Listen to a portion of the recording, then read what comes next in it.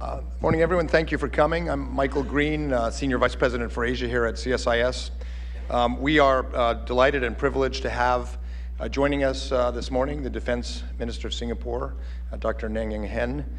Um, quick few administrative announcements. Put your cell phones on stun, if you would. And the minister's remarks will be on the record and podcast. Um, we're going to do the discussion and question and answers under Chatham House rules. Um, and to open the proceedings and introduce our distinguished speaker, let me invite our CSIS trustee, former Deputy Secretary of State, and uh, President of Armitage International, Rich Armitage.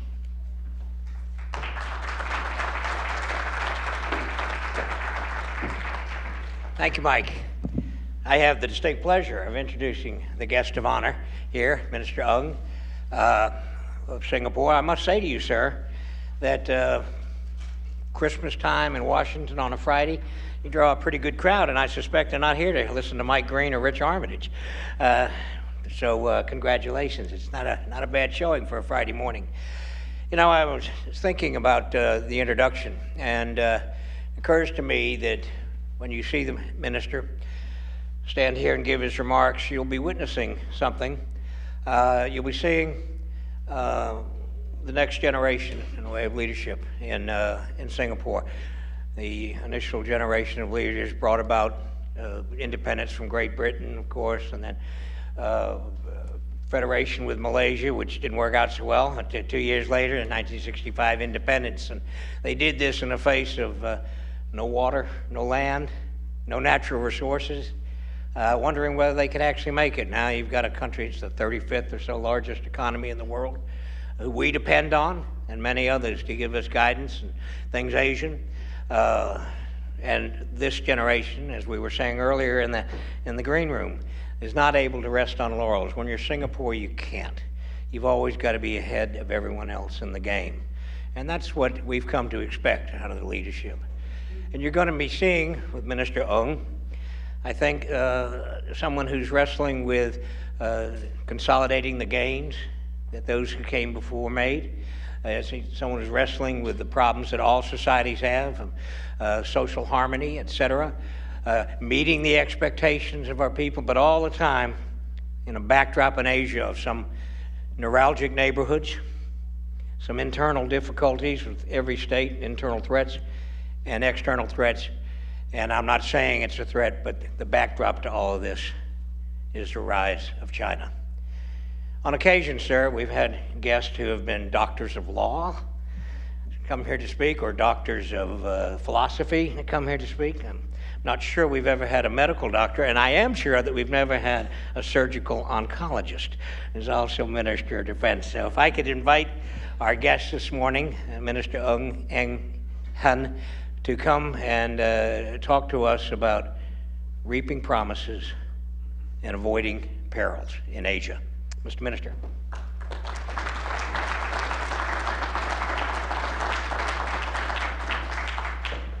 Good morning, everyone. First, let me thank uh, Mr. Rich Armitage for the introduction. Uh, Rich has been a very good friend of Singapore for many years, and in fact, uh, some of the events that I'll relate, uh, he was intimately involved when he was Deputy Secretary.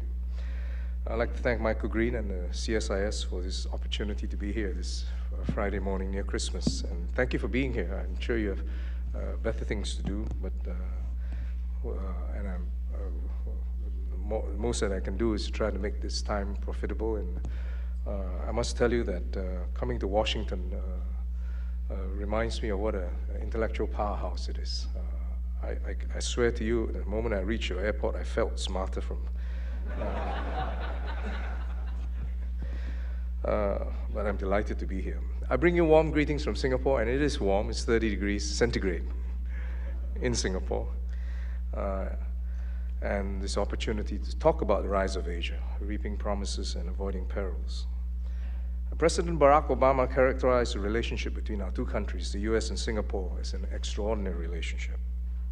Indeed, Singapore and the US are strategic partners and share a vision for a world that gives every person of any creed, color, or background an equal opportunity to fulfill his or her aspirations and succeed. Defense and security arrangements form one of the solid pillars in this extraordinary relationship. I, before I arrived in Washington, I was in uh, Arizona, in Luke Air Base.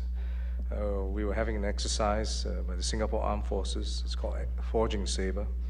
Involves all four of our Air Force training detachments in the US, as well as our Army's high mobility artillery rocket systems. Uh, we celebrated the 20th year of our F 16 detachment in uh, Luke Air Base and it's testament to the long-standing relationship between the US and Singapore. This close relationship with the United States is based on a shared strategic perspective for a stable Asia-Pacific region that fosters growth and prosperity for all nations, small and large.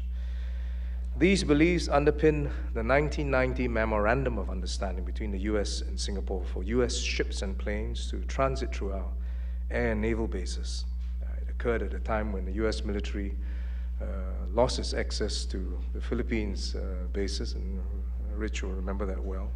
This 1990 MOU was signed by our founding Prime Minister, Mr. Lee Kuan Yew, and then the US Vice President, Dan Quayle. In an interview in 1991, Mr. Lee Kuan Yew said, and I quote, The American presence, in my view, is essential for the continuation of international law and order in East Asia an Asia in which cooperation and competition increases everyone's well being peacefully and without recourse to arms has been the norm. This kind of Asia, this kind of Pacific, cannot exist without America being a major economic and security presence. Unquote. In 2005, Singapore reaffirmed this belief through the Strategic Framework Agreement and this was uh, about the time that you were Deputy Secretary then, the Rich. And this SFA, this Strategic Framework Agreement, was signed between, our, between the US President George Bush and the current Prime Minister, Mr. Lee Hsien Loong. Ensuing from the Strategic Framework Agreement, the US Secretary of Defense Chuck Hagel and I were pleased to note that the first littoral combat ship, the USS Freedom, was deployed to Singapore this year, taking part in bilateral and multilateral exercises and enhancing the U.S. engagement with our region. And we look forward to the deployment of the next LCS next year. Indeed, in the last 50 years, the U.S. presence in the Asia Pacific region has been a force for stability and progress.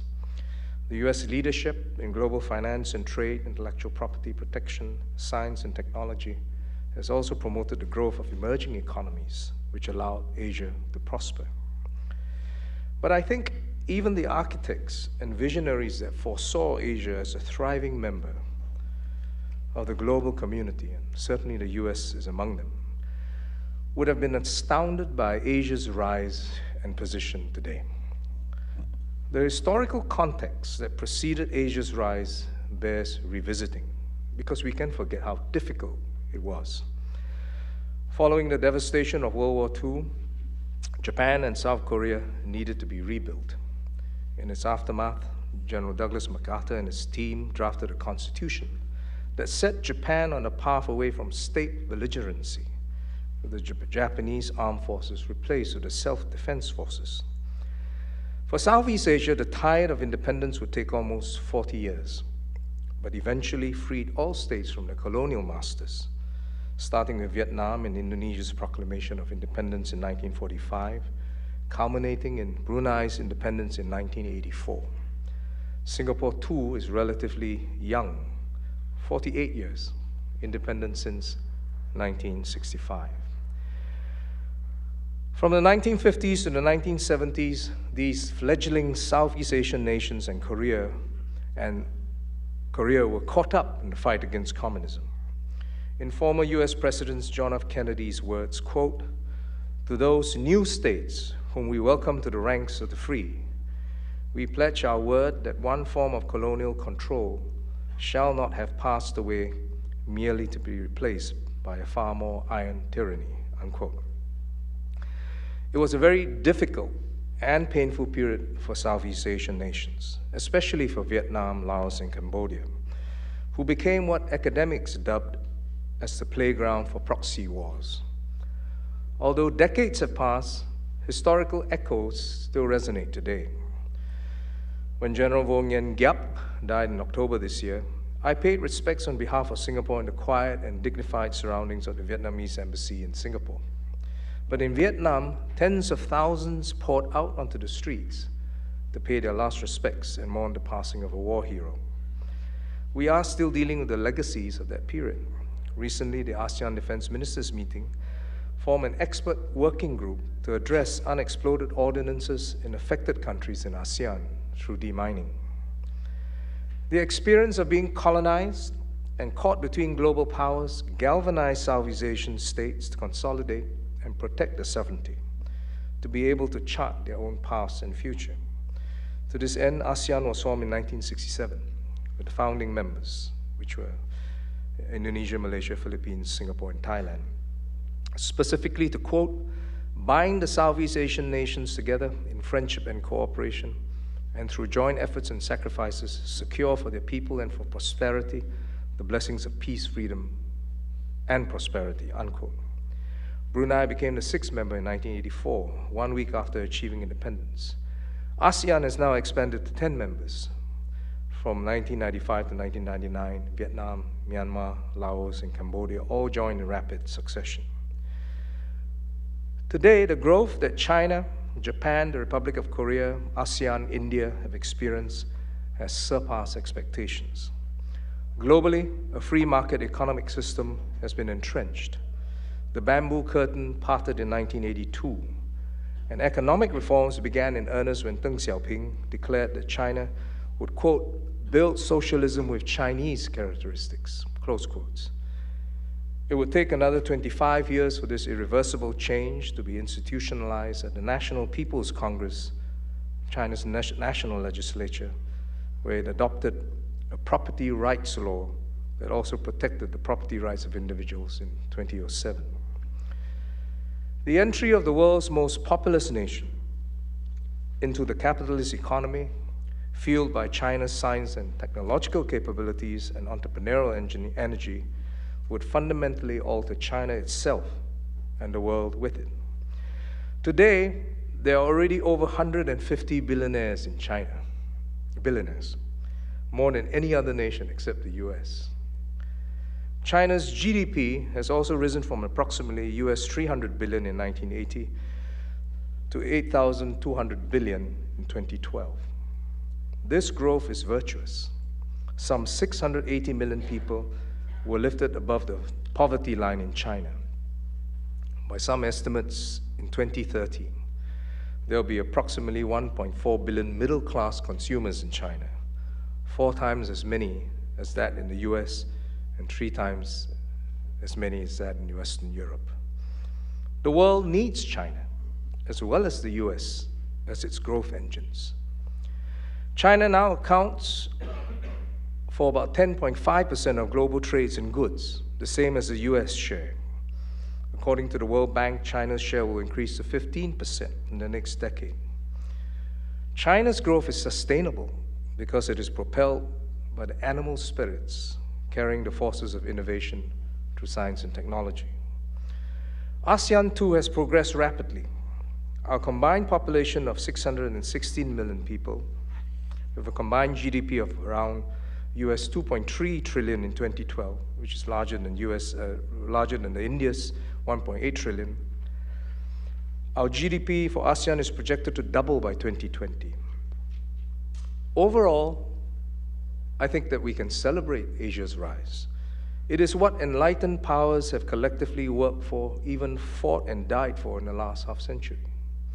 Without Asia's economic input today, the effects of the global financial crisis in 2008 would have certainly been much more severe. Our future also depends on a strong Asia. According to the World Bank, East Asia and the Pacific will contribute 40% of the global growth and one third of the global trade this year, higher than any other region in the world. But even as we celebrate Asia's prosperity, there are perils to avoid. While the economic progress of Asia's countries has been stellar, the political systems and national institutions in each country are still evolving.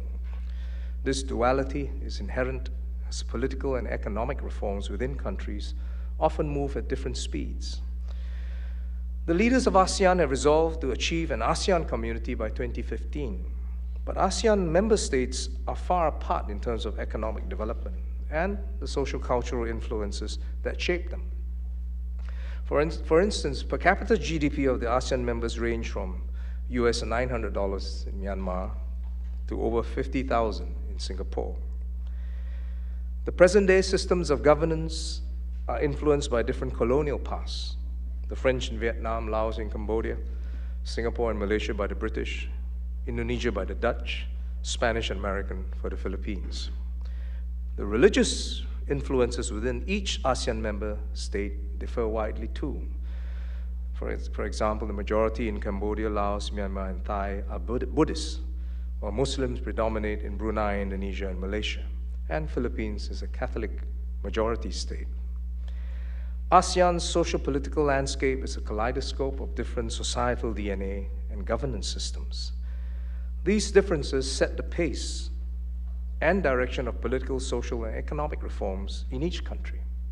The risk of instability exists in these processes.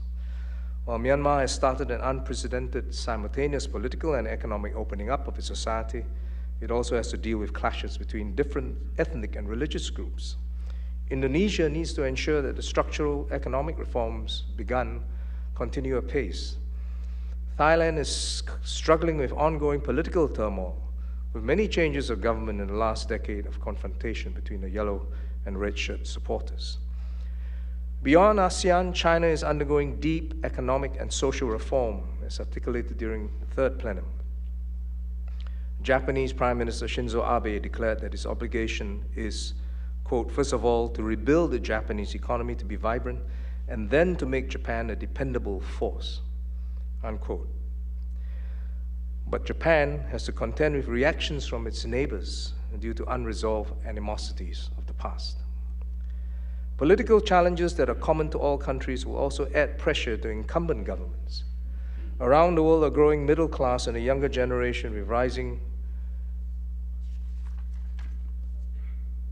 aspirations will exercise greater political voice and exert influence facilitated by the internet, whether it's Occupy Wall Street movement in the US or strikes for higher minimum wage in Indonesia.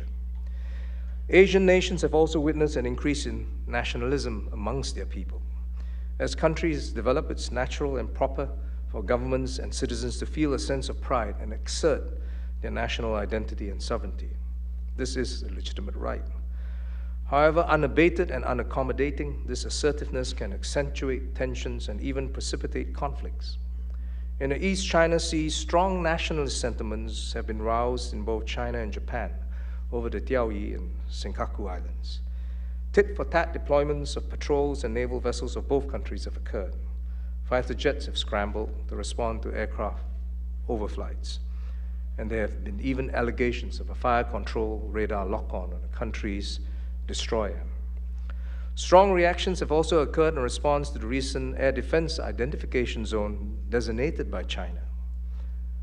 While no physical incidents have occurred as yet, the risks are not theoretical. In another incident in May this year, a Taiwanese fisherman was shot and killed by the Philippines Coast Guard in the South China Sea. On the Korean Peninsula, North Korea ratcheted up the rhetoric and threatened at one point to void the armistice that ended the Korean War and launched a nuclear attack on the US. All of us watch these unfolding and escalatory events with concern. Indeed, we should, as these security challenges and flashpoints could derail the stability and growth of Asia. While the world reaps the harvest of Asia's economic rise, we must pay heed lest Asia stumbles, as the impact on the world will be deeply felt. Collectively, we must do all we can to continue and provide and create conducive conditions for Asia's virtuous growth to continue. There is much we can do, anchored on dialogue, cooperation, and shared beliefs. As a start, we must deepen economic ties by enhancing the flow of trade and investment. As Prime Minister Lee said during his visit to the US in, May, in April this year, in Asia, trade is strategy. And he urged the US to push the Trans Pacific Partnership energetically to further liberalize trade across the Pacific. The regional comprehensive economic partnership between ASEAN and its free trade agreement partners is another such initiative that expands trade. In the social cultural domain, we should increase people to people and institutional exchanges to foster understanding and forge ties from the ground up. We must step up efforts in the area of defense and security. Military spending in Asia has gone up significantly and will continue to rise. According to the International Institute of Strategic Studies, Asia's nominal military expenditure in 2012 was US 287 billion. It surpassed Europe's military spending of US 262 billion. The convergence between began the convergence began accelerating after the 2008 financial crisis as NATO European defense spending declined by an average of about 4% per annum even as Asia's military expenditures increased by about 9% annual growth. As Asia's militaries modernize, we must ensure constant dialogue and cooperation between all countries to avoid misunderstanding and reduce tensions. There must be responsive and effective dispute resolution mechanisms to address differences through peaceful means. Here, the ASEAN Defense Ministers Meeting Plus, which is the 10 ASEAN countries and the 8 plus partners, has entrenched itself as a valuable platform to serve these purposes.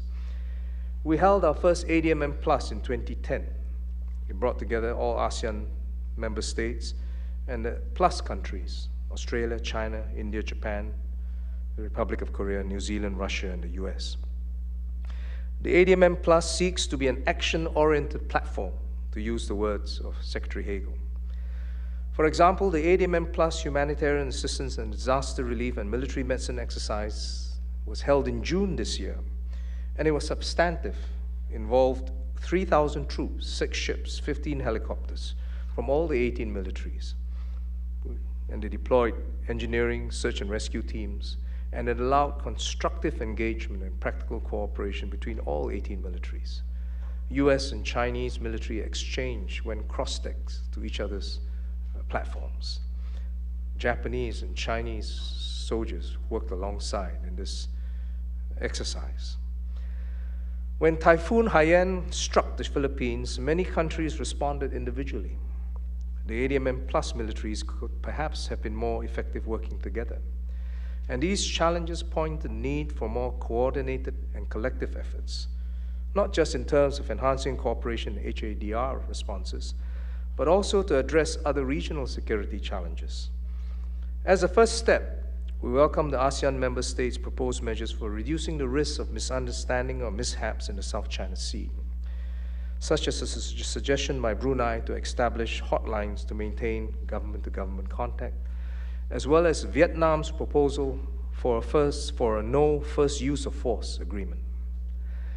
The United States, as a resident power in Asia Pacific for the past 50 years, needs to continue that role as a stabilizing force in the region. But the United States needs to play this role fully aware of the changing dynamics of a rising Asia. Singapore is grateful for the consistent and strong commitment by the US to the region, as it has actively participated and played a key role in our platforms the ADMM Plus, the East Asia Summit, the ASEAN Regional Forum, Shangri La Dialogue. Singapore is also thankful that the recognition of the importance of Asia has bipartisan support. Whether under Republican and Democratic administrations, the U.S. Secretary of Defense has without fail attended every year's Shangri-La dialogue since 2004. In fact, Secretary Hagel had a founding hand in the Shangri-La dialogue. We are confident that the U.S. commitment to our region will continue. As Secretary Hagel said in August this year, it is clear that the Asia Pacific region will also help shape the traje trajectory of global security and prosperity. And because America recognizes that its future will be even more connected to this part of the world, we are rebalancing the weight of our global diplomatic, economic, and security engagement towards the Asia Pacific. Ladies and gentlemen, let me conclude this morning by stating that political will and leadership will be required from all countries if we are to maintain peace and stability in the Asia Pacific region. While there are areas of concerns, we also see positive signs. The US China relationship is of paramount importance to regional and global stability.